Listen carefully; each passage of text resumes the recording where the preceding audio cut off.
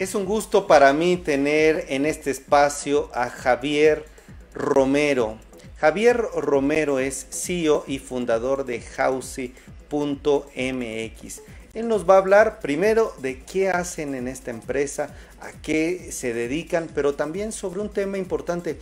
¿Es conveniente comprar casa en 2021. Les voy a platicar rápido de House y bueno, es una, él es una empresa que fue creada con la intención de justo reducir los largos procesos de búsqueda de las personas o familias interesadas en un hogar. Por eso la relevancia de esta entrevista y saludo con mucho gusto a Javier. ¿Cómo estamos Javier? Muy buenas tardes. Buenas tardes Miguel Ángel, un gusto estar aquí contigo. Igualmente, oye Javier, pues eh, platícanos por favor un poco qué hacen ahí en Housey para después entrar ya en, los temas candentes. Claro. En Housey somos eh, lo que se conoce en el mundo de bienes raíces como un buyer's agent, por sus palabras en inglés, pero en, español lo que hacemos somos representadores o representantes de, de compradores. Cuando alguien está buscando adquirir una propiedad, eh, una residencia, nosotros lo hacemos nada más para residencias eh, y, sobre todo nuestros clientes son gente que es la primera vez que compran una casa o un departamento. Nosotros les ayudamos y los asesoramos en todo el proceso necesario hasta que tienen las llaves y entran por la puerta de, de la casa.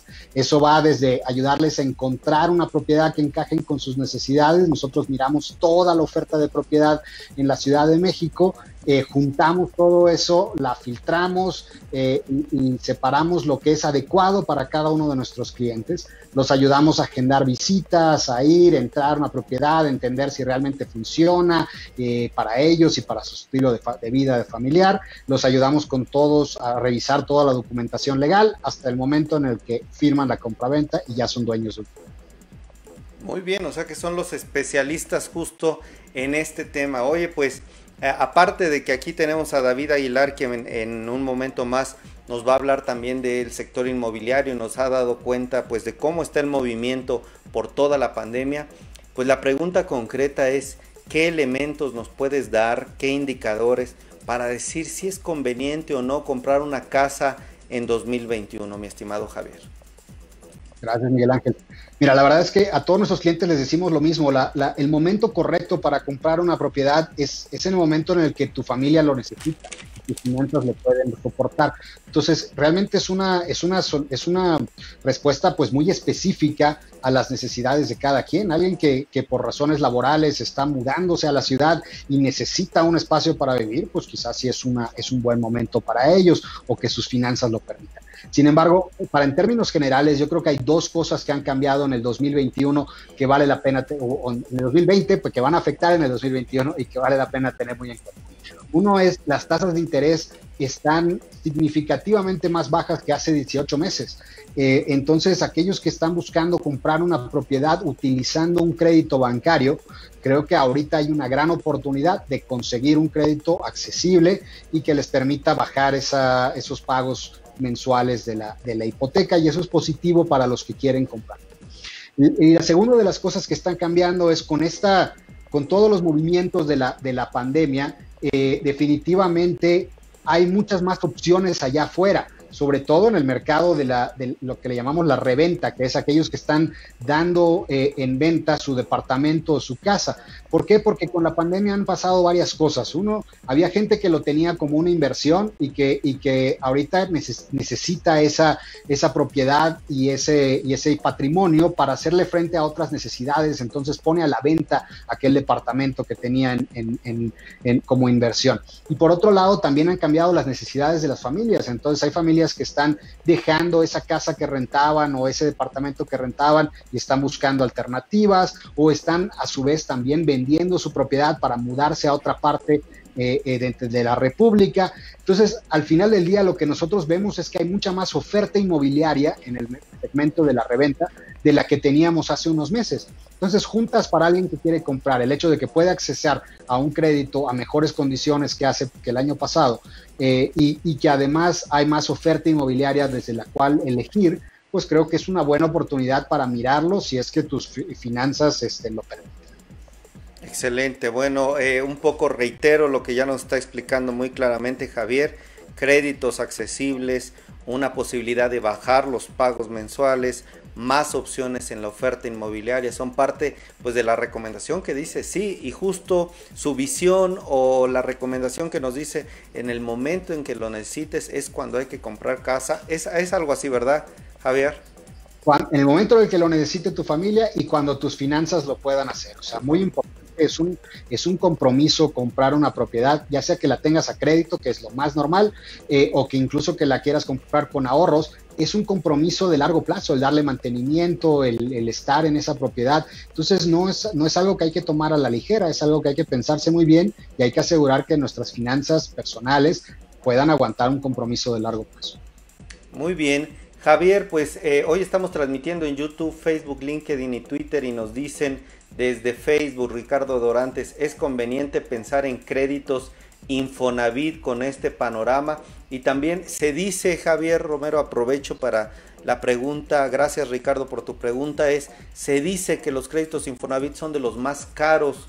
¿Tú los recomendarías o, no los recomendarías? Gracias a María de los Ángeles que dice saludos Javier, Alma Flores y también Marta Claudia. Muchas gracias por los saludos. Adelante, Javier. Créditos de Infonavit. Em, y aclarando algunos de los puntos de, si conviene o no y de la y de la y de la y de que si son caros o no.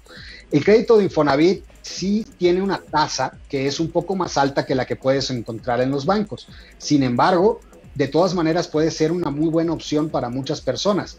Em, la razón por la que puede ser una muy buena opción es porque cuando utilizas tu crédito de Infonavit, en lugar de tener que dar un enganche que sale de tu bolsillo, utilizas el saldo de tu cuenta de, del Infonavit o de tu cuenta del ahorro para pagar ese enganche. Entonces, eso significa a nuestros clientes a los que les asesoramos todo el tiempo eh, que cuando utilizan el crédito de Infonavit, a veces solo o a veces ligado a un banco, en lo que se llama un Cofinavit, eh, no tienen que poner nada de enganche o muy poquito de enganche eh, versus cuando a nuestros mismos clientes que no tienen acceso a un crédito de Infonavit por su situación laboral, pero quizás sí tienen acceso a un crédito bancario, la tasa puede ser menor, pero me quieren poner un enganche mayor. Entonces, mi respuesta es, si tienes acceso a un crédito de Infonavit, definitivamente vale la pena utilizarlo, a veces conjuntándolo con un, con un crédito bancario en lo que se llama Cofinavit, pero no dejar de lado que ese ahorro que ya tienes ahí es tuyo y vale la pena ponerlo a trabajar.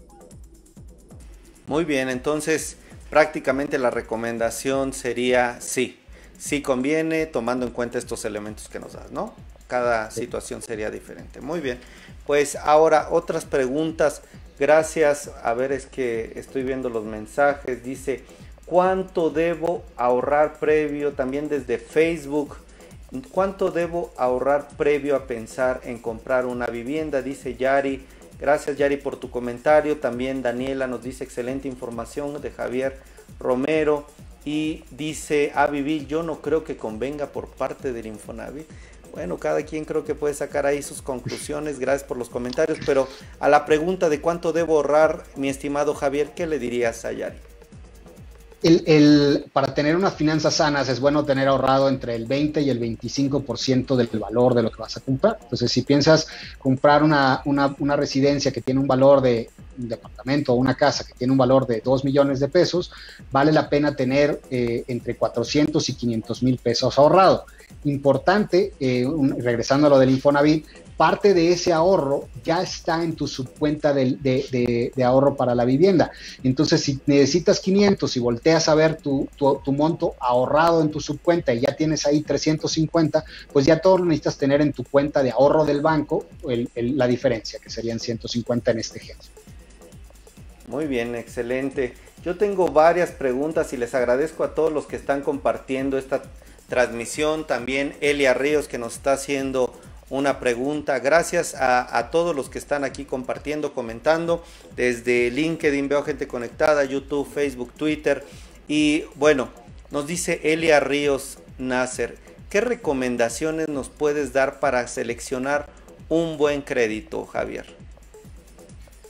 Pues para seleccionar un buen crédito, creo que primero es la, parte de la selección tiene que ver con asesoría. Entonces, em, lo, ideal es, acercarse con, un, con un agente asesor de créditos hipotecarios, es decir, no necesariamente lo ideal es ir directo con el banco, porque el banco te va a dar una opción de crédito, la de su banco. Pero si vas con un asesor, eh, te, va, te va a plantear todas las opciones de crédito de todos los bancos que están allá afuera. Entonces, eso es lo importante, que tengas muchas ofertas de varios bancos antes de que te decidas por uno. Y, lo, y creo que la otra parte de la pregunta es, ¿qué recomiendo? Recomiendo antes de pensar en un crédito bancario, el tener un buen eh, historial crediticio. Entonces, el, el hecho de, de, ir pensando que ya quieres comprar una propiedad y que te vayas creando un historial, eh, crea, teniendo alguna tarjeta de crédito o alguna tarjeta departamental, irla pagando a tiempo, siempre ayuda. Y no se olviden de que todos tenemos acceso gratis a nuestro, a nuestro reporte del buro de crédito. Entonces pueden entrar al buro de crédito, recibir, recibir su reporte que les dice en dónde están parados, dice qué tan bien o qué tan malo es tu crédito y que algunas incluso eh, ideas que puedes hacer para mejorar. Muy bien, nos dice, hay varias preguntas también, Yari nos dice otra pregunta, consejos para alguien que vaya a comprar por primera vez. Gracias también Michelle por tus comentarios, María de Los Ángeles por estar dando muchos likes. Gracias. Eh, y bueno, te quiero juntar porque nos quedan dos minutitos, mi estimado. Javier Romero es el CEO y fundador de Housey.mx. Es el sitio, ahí pueden consultar eh, la empresa. Y bueno, la pregunta de Yari es, consejos para alguien que quiere comprar por primera vez. Yo te añadiría ahí, Javier, requisitos, precios promedio por zona en el país. ¿Cuáles son los principales bloqueos? ¿Qué es lo que detiene a la gente o que tú has visto que detiene en este proceso? Tiempos, ¿cuánto dura un proceso? Te estoy bombardeando, pero espero que este, si no te las repito. Y bueno, son las que nos recomiendes comprar en este momento. Adelante. A ver, Voy a ir en orden a ver cómo estoy acordando. Este, eh, sugerencias para alguien que está comprando la primera vez, que, que, haga bastante investigación y que haga un poco de introspección antes. Algunas de las preguntas que son importantes responderse a sí mismo o con la ayuda de un asesor, incluso antes de ir a visitar nada o tener una, una eh, este, eh, salir a, a, a, a tocar la puerta de diferentes agencias inmobiliarias. Responderse a sí mismo si quieres una casa o un departamento y responderse a sí mismo si quieres algo nuevo o estás dispuesto a algo de reventa. Rápido con eso. Cuando alguien está dispuesto a comprar una propiedad a alguien más, es decir, una propiedad de reventa, algo que ya puede tener en el mercado 5 o 10 años, normalmente se puede ahorrar entre un 10, un 15 o hasta más por ciento de comprar algo nuevo pero algo nuevo requiere casi nada de mantenimiento porque estás entrando y las tuberías están nuevas y el eléctrico está nuevo. Entonces es un, es un estira y afloje de le quiero yo dar mantenimiento a esta propiedad, me quiero yo hacer cargo de ella a cambio de un ahorro o quiero comprar algo que ya esté perfecto y bonito y perfectamente bien diseñado, que son las cosas nuevas, ¿no? Esas dos preguntas, departamento o casa versus nuevo, lo que le llamo preventa versus reventa, son importantes a definir antes de, y, y un asesor te puede ayudar antes de, empezar a visitar. Me preguntabas de precios mínimos. Eh, en, en, la Ciudad de México eh, tenemos muchísimo rango, pero sí es difícil encontrar algo abajo de un millón de pesos. Entonces, eh, en la Ciudad de México los rangos empiezan alrededor de un millón de pesos para encontrar algo este, eh, eh, pues en, en, las zonas en las que la mayor parte de la gente gusta vivir. Claramente, si te vas mucho más al centro, esos números empiezan a volverse 2, 3, 4, 5 millones de pesos, dependiendo del tamaño y de, y de, y de la zona exacta en donde quieras eh, pensar en la, en la Ciudad de México. Eh, me hablabas de los tiempos. Nosotros lo, que hemos visto es que alguien que no se asesora puede tardarse entre seis o nueve meses entre que decide quiero empezar a visitar propiedades a que realmente acaba cerrando una transacción, es decir, no es de corto plazo. Cuando asesoramos, logramos eh, bajar esto este, quizás en el mejor de los casos a la, mitad. Entonces se puede convertir en algo de tres a cuatro meses eh, eh, si les ayudamos mucho. Eh, y, y una, creo que tenías otra pregunta acerca de... de, de acerca de, de las eh, zonas del país y los bloqueos que hay para acceder a, a una vivienda. La de zonas del país, Miguel Ángel, te pido, te pido este, disculpa, pero Housey.mx trabajamos únicamente en la Ciudad de México, entonces tengo muy poca visibilidad acerca de otras zonas del país. Los precios mínimos en la ciudad ya te los, ya te los comenté. Bloqueos, importantísimo. Eh, nos, hemos visto a muchísimas familias este, frustrarse porque avanzan mucho en el proceso de encontrar una propiedad y no es hasta, hasta mucho más adelante en el proceso, ya que se enamoraron de esa propiedad que realmente les gusta que empiezan a pensar en el financiamiento y si van a necesitar un crédito bancario. Y cuando están en ese punto, a veces se dan cuenta de que sus finanzas no son tan sanas como pensaban. Hay por ahí un, crédito que, se habían olvidado que tenían y que los está atorando. Y entonces eso retrasa muchísimo el, llegar a un buen fin. Em, lo, que les, lo que les decimos a la gente es siempre de la mano, ¿no? Para poder hacer una buena transacción, es importante encontrar una propiedad y tener un buen financiamiento. Y desde un inicio hay que hacer el trabajo previo de las dos. Muy bien. Pues ha sido un gustazo, la verdad qué buena entrevista Javier y creo que coinciden conmigo todas las personas, les gustó la entrevista, ya saben que al final votamos por el contenido que más les gustó. Estuvo conmigo Javier Romero, CEO y fundador de Housey.mx. Gracias por esta claridad, la información, los datos y bueno, hay que visitar Housey.mx, ahí están todos sus datos, ¿no Javier? Ahí están todos los datos eh, en housey.mx, eh, tanto en todas las redes como en, la página web. Y ahí mismo en, las redes y en la página web van a encontrar eh, em, cómo, cómo contactarnos y cómo participar en los, en los webinars que hacemos todos los jueves para poder responder estas preguntas en vivo a la gente. Pues gracias Javier, un abrazo y que tengas buen fin de semana. Igualmente, hasta luego.